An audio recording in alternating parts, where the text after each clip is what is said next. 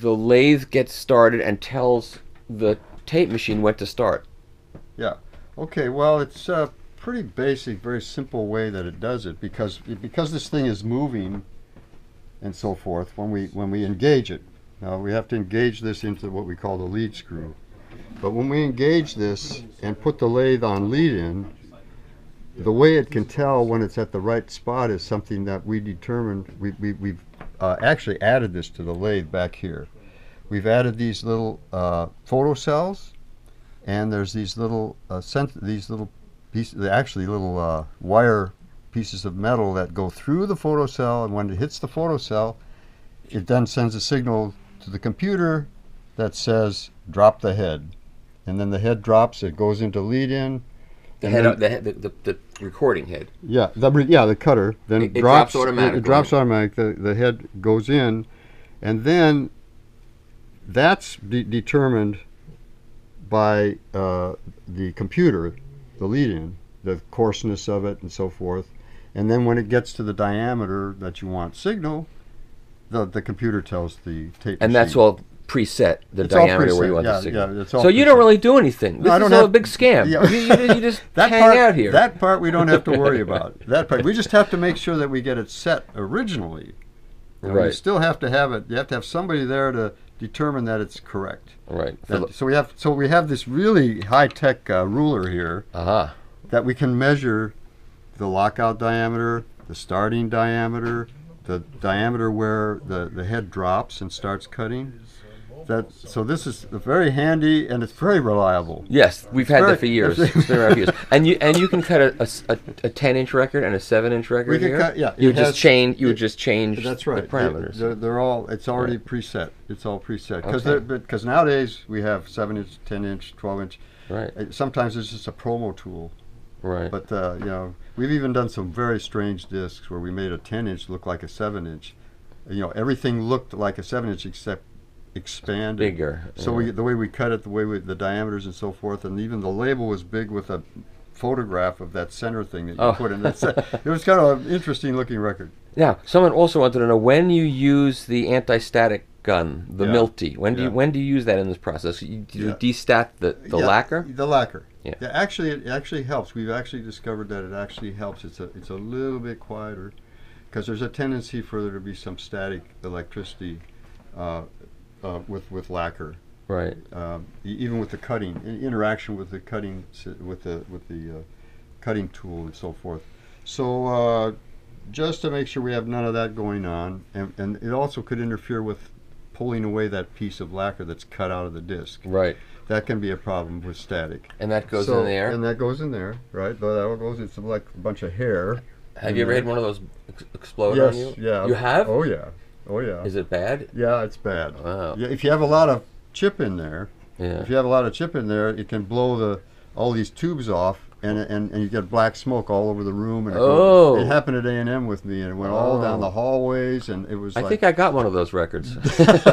and and and so so how often do you have to ch- change that? Well, you know, when it starts, you know, about half full, we, It's getting there. try to get it. Yeah, it's There's a lot of Vanessa in there. It's yeah, it's uh, a lot of stuff in there.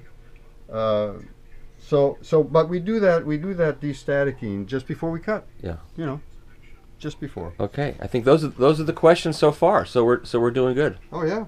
No, it's, Okay. things are happening. We're we're making progress. Yes, I don't You know, think. I mean, there's just a lot of stuff. Here it is. This is the inner. This is like, this is like Yoda's room. Here they're mod they're modifying a convection broil oven to play records. I think that's what baking tapes. The, the, the platter only spins at so far at 16 and two thirds. They've got to fix that. They ha- don't have any records that'll You play need in to that. take a look at Benno's little computer stereo system here. With the little tube.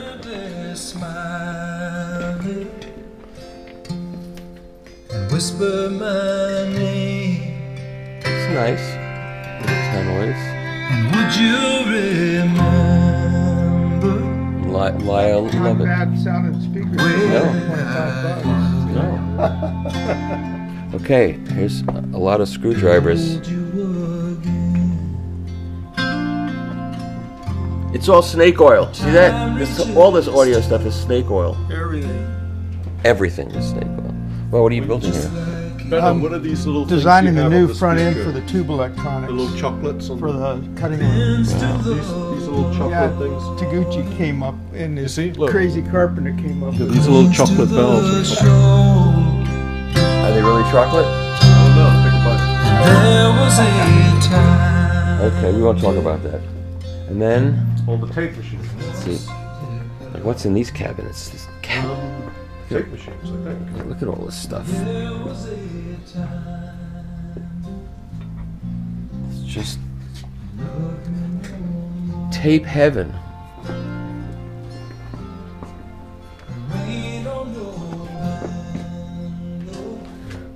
There's a project turntable. This is the SP10 Mark III right there. There's an SP10 Mark III turntable. There's the drive. There's a Nakamichi MR1, a Yamaha. It's the graveyard of cassette decks. A to D converters.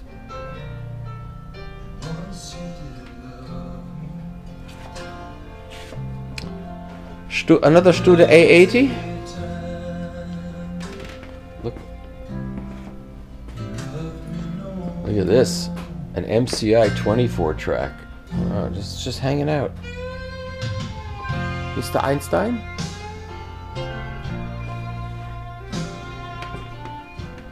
I know there's a lot of guys who seeing this and they're just going, "Can I? Why is it? It's just boxes of transformers, cables." There, there is a Vishnu over here.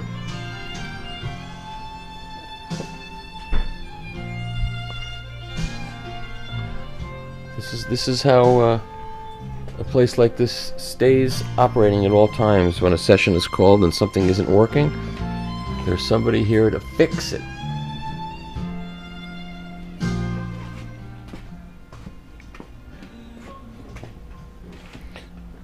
Make sure you get the EMTs. Oh, the plates. Side room, uh huh. Yeah, and where are those big Bozaks? Are they in there too?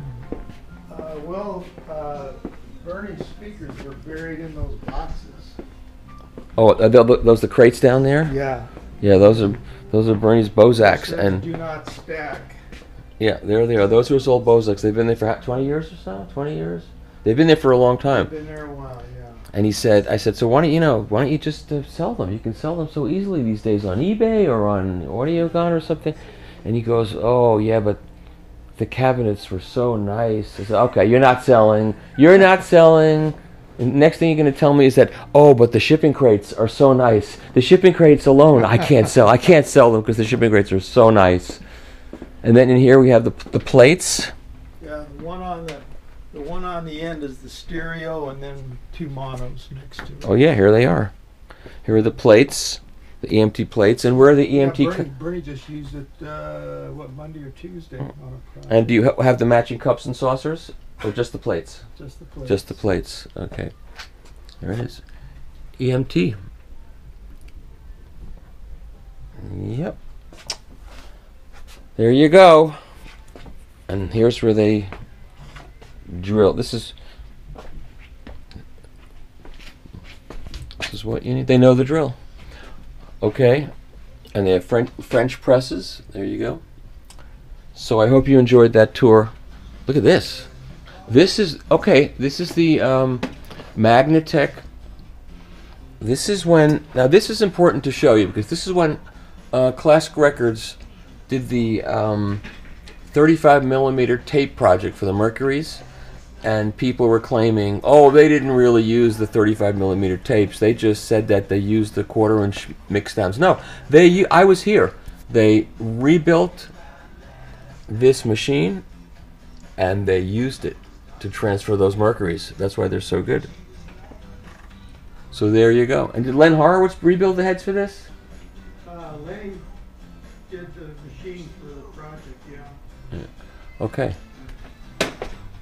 And that's it, ladies and gentlemen. And believe me, this stuff is not just peanuts, although these are peanuts. And that's it. That's your tour of Benno's workshop here on the analog planet.